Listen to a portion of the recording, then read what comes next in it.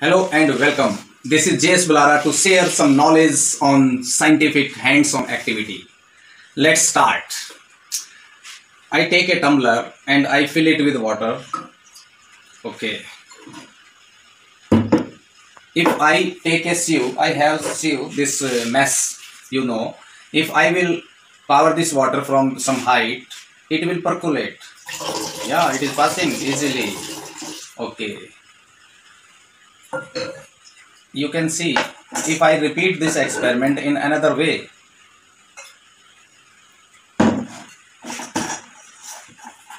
I am repeating the same experiment in another way.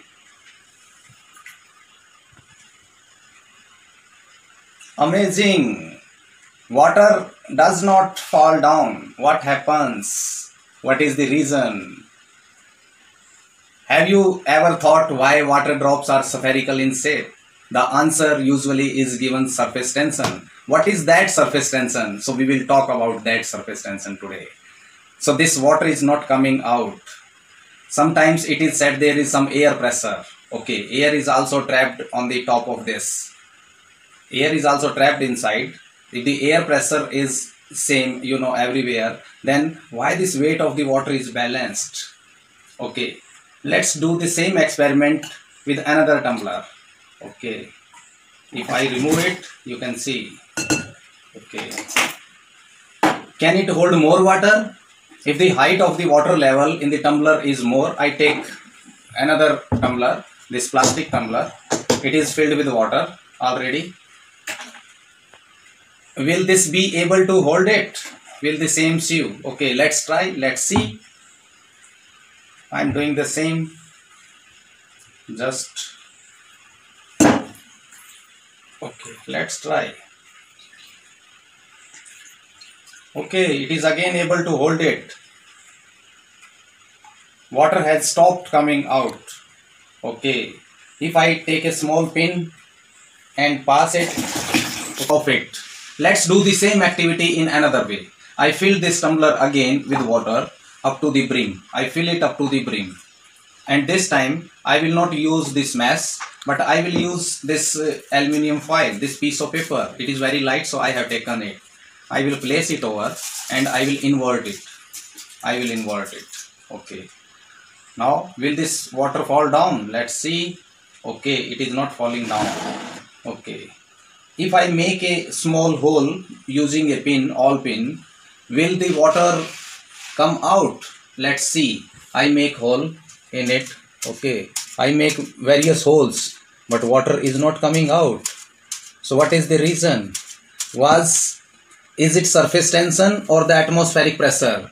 Some may be thinking that there is some air pressure. That's why this water is not falling down. If I fill the same tumbler half of it up to the half level there is some air trapped. Then let's see what happens now this time I am emptying it out up to half and let's do the same. Now air is trapped inside. We will check.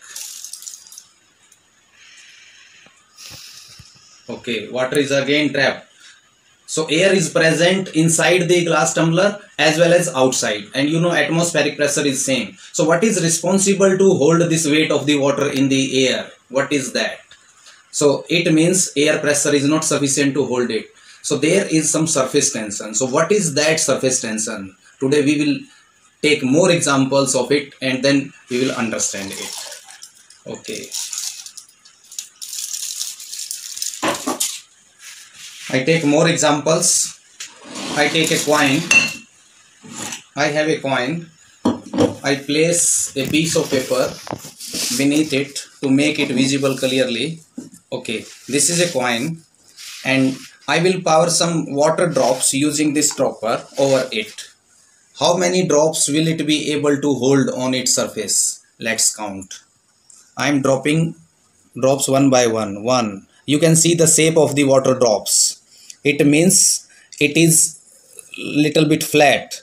I am adding more drops. Two three four five six seven eight 9, 10, 11, 12, 13, 14, 15, 16, 17, 18, 19, 20, 21 22 23 you can see still water is not falling on the plate. It is still on the coin. 24 25 26 27 28 29 30 almost 30 drops it has easily covered. To make it visible i add some color to it so that it can be visible to you. I add some color to it to it so that it can be made visible to you. I am adding some color to it. Okay you can see. Water is present over it. It has stress. This free surface is stressed.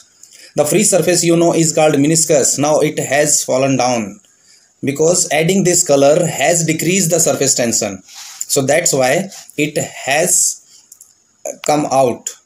The drop the meniscus is broken so if we add some soap solution then again the surface tension will decrease. Students you know why soap is used to wash the clothes? Why water drops is spherical in shape? That is due to surface tension. The soap is decreasing the surface tension. Let's check whether it, decreases or not. Let's do more activity. I fill this tumbler up to the brim completely. I am filling it. Okay. Can we add more water to it? Can we add more water to it? Yes. Let's see. I insert a coin. Water should come out but it is not coming out. I am adding more water drop by drop to this you can see the upper surface that is free surface that got stretched it is going stretched just like the balloon and water is not pouring down along the wall of the glass it is still on the brim you can see I have almost added 30 drops and it can hold on more drops easily. You can see. So just focus over the free surface, meniscus. You can see this is the free surface. So more water can be added and more coin can be inserted inside it. So that is due to free surface tension over the free surface. the surface tension is responsible to hold this membrane like this if I add some soap solution to it then this will decrease the surface tension it can add more water water is not falling down okay I am adding some soap solution to it I have taken some soap solution inside it and then we will add the soap water to it. What will happen? It will decrease the surface tension easily. Now water has started coming down. You can check.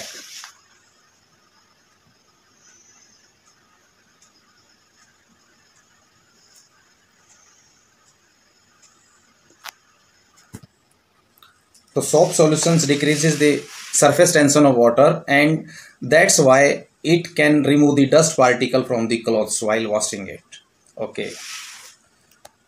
Now I have a metal pin and I put it inside water. What will happen? It will sink. You can see. It is easily sinking. Yeah, just because the density of this metal pin is higher than that of water. Now, if I put the same pin horizontally over its surface, using this thin piece of paper let's see what happens I'm just putting it. Okay. You can see the piece of paper is soaking the water. When it is soaked then now I will press it down. I will press the piece of paper down and let's see what happens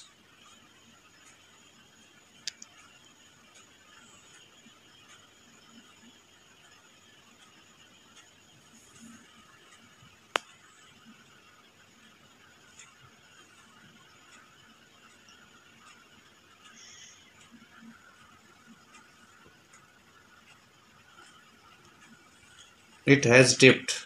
Let's do this this experiment again. Let's do it again. Again we will try.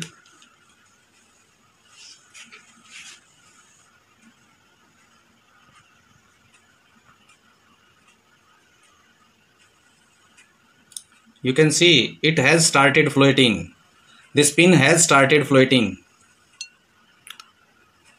The same pin is now floating over the free surface this is due to surface tension. You can see. It is floating.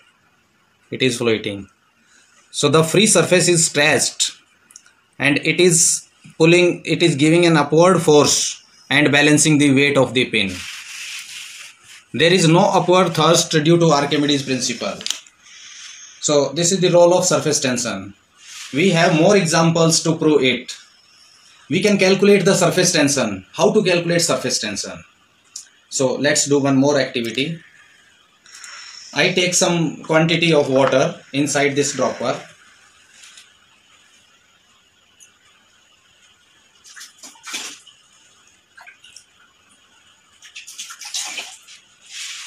And we will count the number of drops. And then we will count the surface tension. So this is the method to calculate the surface tension drop by drop method. Let's calculate I take some quantity of water in the inside this dropper and there is a mark on this. This mark is 2.5 ml this one. This is 2.5 ml mark this one. So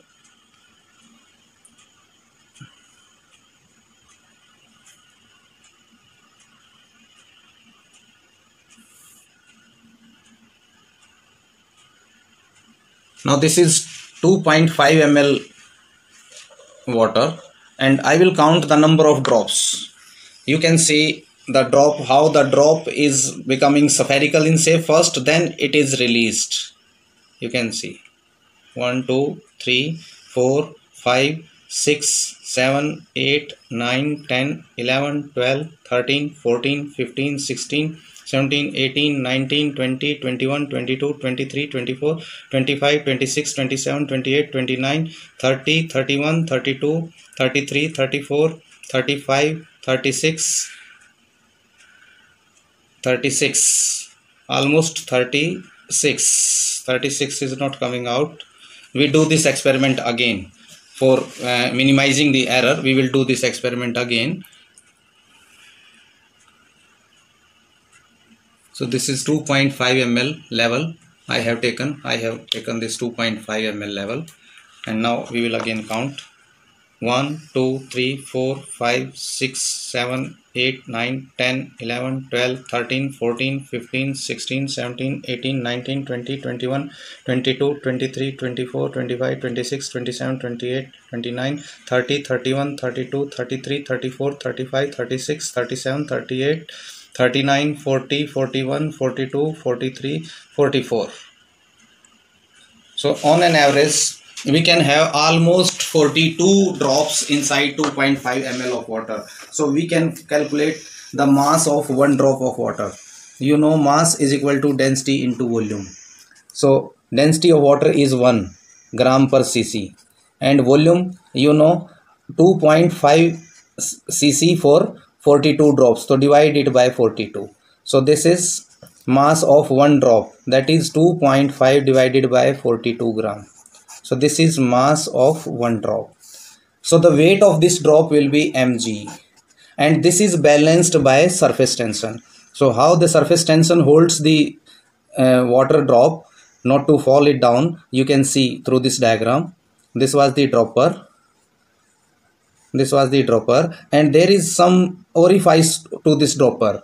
And across this dropper this uh, water droplet was hanging like this. Was hanging like this. So the weight of this mg is balanced by some force acting over the mouth of this dropper like this. Over this mouth the liquid is in contact with this material of the dropper that is made up of plastic. So the force is acting on the circumference of it so there is some force acting on it. So total force upward is surface tension into total length of this mouth of this dropper. That is 2 pi r. If r is the radius of this uh, orifice of the dropper then s into 2 pi r that is the upward force which is counterbalancing the weight. So mg is equal to s into 2 pi r so we can calculate S is equal to mg divided by 2 pi r. So now we will calculate this radius of this dropper. M I have already calculated and I will use the CGS system. In CGS mass is taken in grams that is our 2.5 divided by 4.2. Small g is acceleration due to gravity that is 980 we take 2 pi is your 44 upon 7 upon 7 into r is the radius now let's see what is the radius of this dropper. You can see this is the orifice of the dropper this one. This is the orifice of the dropper where the water drop was hanging. So i will measure the size of this using this scale. The least count of this scale is 0.5 mm. This is 0.5 mm. Least count of this scale is 0.5 mm. This one least count. So i will use this scale to measure the size of this. So i i will use it it is almost 3 mm in dia its diameter is 3 mm so if diameter is 3 mm then radius will be if diameter is 3 mm d is 3 mm then radius will be 1.5 mm but in CGS system we never use distance in meter we will use centimeter. So it will be 0. Point, sorry it will be 0.15 centimeter. 1.5 mm means 0.15 centimeter so this will be 0.15 centimeter. So I will calculate the uh, surface tension of this water. I will use calculator for it.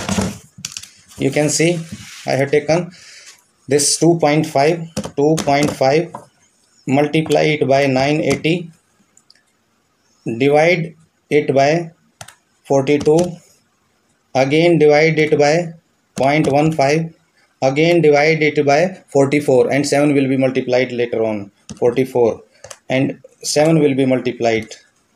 So it is coming out 61.8 you can see 61.8 almost 62 the actual the laboratory value of the surface tension of water is 72 so there may be some error because we have approximately taken the size of this orifice and we have taken uh, we have ignored the angle of contact here. That's why there, this is the difference. So in this way we can have an estimate of the surface tension of water. That is actual value is 72 dyne 72 dyne per centimeter this is centimeter. Surface tension is denoted by s and its formula is force upon length. So this force is measured in dyne and length in centimeter in cgs system. So we can have you can you know the mercury drop is not flat but very spherical in shape. If i power a mercury drop the shape of the mercury drop is like this. And the shape of the water drop is like this. This is the water drop. This is the mercury drop. Why mercury drop is so spherical? Because the surface tension of mercury is almost 6.5 times that of water. So surface tension of water we have calculated. Cause of surface tension what is the cause? You can see I have taken a tumbler in which water is there. So these are the water drops you can say water molecule inside. This water molecule is surrounded by water molecules and net force is zero. So it is equally attracted by other water molecules. But the molecules water molecules which are on the free surface that is not equally attracted. Upside is air molecules down is water molecules. So net downward force is there. That's why this free surface got stretched so that acts as the surface tension. You can see this water drops is coming down and due to surface tension it is holding the weight of the water drop.